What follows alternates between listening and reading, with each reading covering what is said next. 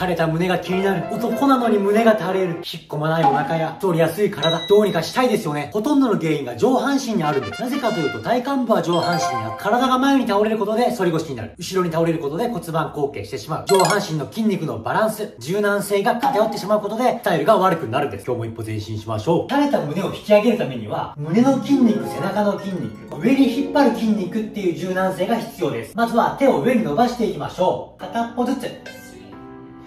腕を伸ばしましょう。手を遠くに伸ばす感じです。これで胸背中がしっかりね上に引き伸ばされて胸が持ち上がっていきます。基本的に上に手を伸ばさない限り筋肉が上に引っ張られないので上には硬い下には重力で下がっていくっていう風に胸が垂れていきます。遠くに手を伸ばします。OK 次は反対です。これは肩こりにもねいいですよ。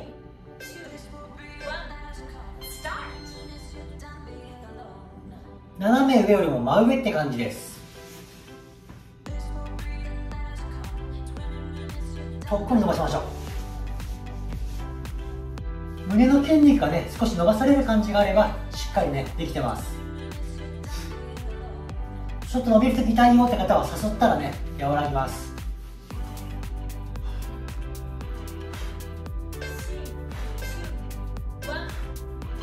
OK 次は下から上にね肘を引っ張りましょう。下から斜め上。船を漕ぐようなねイメージです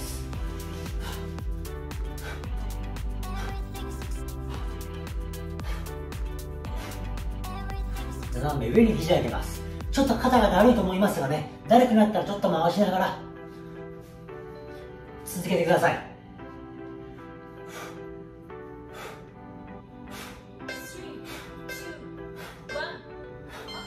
オッケー今度は肩をね後ろに回していきましょう。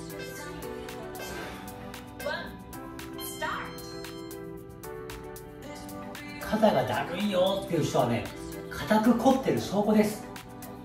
凝ってる人ほどねしっかり動かすとね筋肉が柔らかくなって肩がほぐれます。年々女性は胸が垂れると思いますが男性も胸が垂れてきます。女性みたいな胸の男性も多いのでしっかりね胸の筋肉をね柔らかくして持ち上げていきましょう。はい OK 今度はね背泳ぎです。肘は少し曲がってていいです。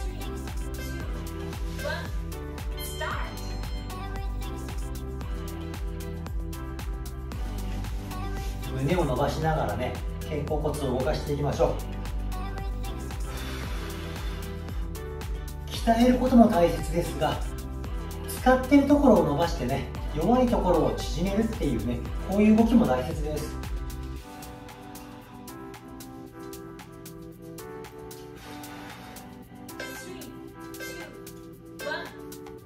OK じゃあ今度うつ伏せです。胸を使っていきましょう。脇の下から体を持ち上げる。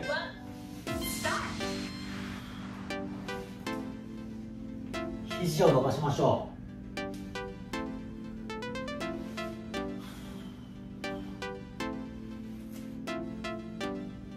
う。しっかり床を押して上半身を持ち上げることで胸が使えてます。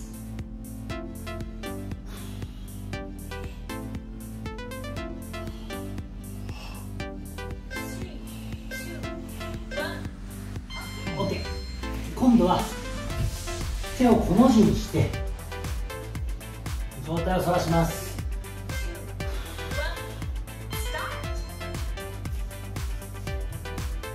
今度は背中をね使っていきましょ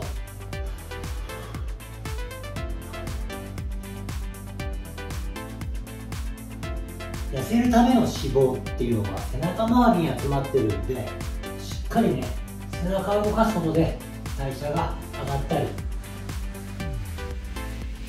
体温を保つ。最後が元気になります。OK 今度はこのままキープです。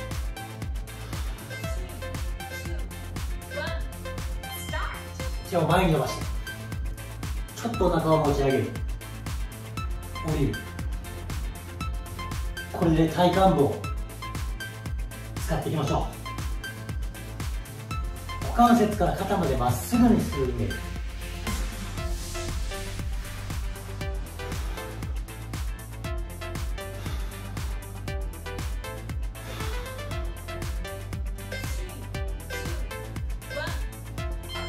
OK です。今度は手を後ろに置いて上体を持ち上げます。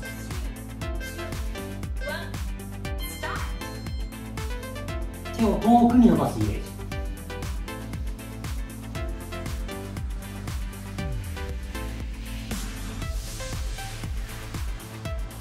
気持ち背中をね。寄せます。肩甲骨寄せます。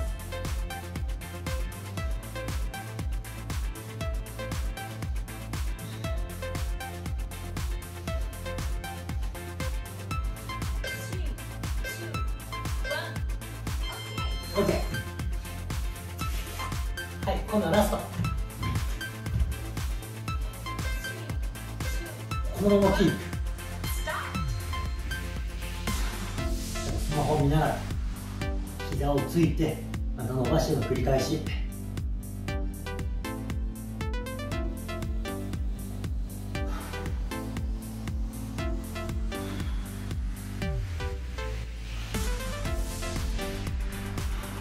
頑張って。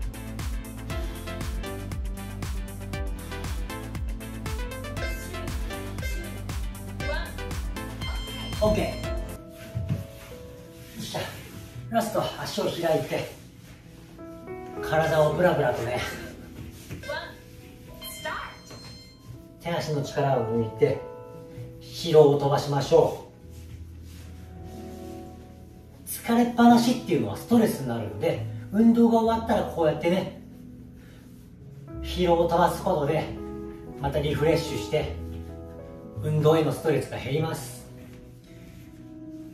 運動が苦手な人ほどね最後に取り入れてください。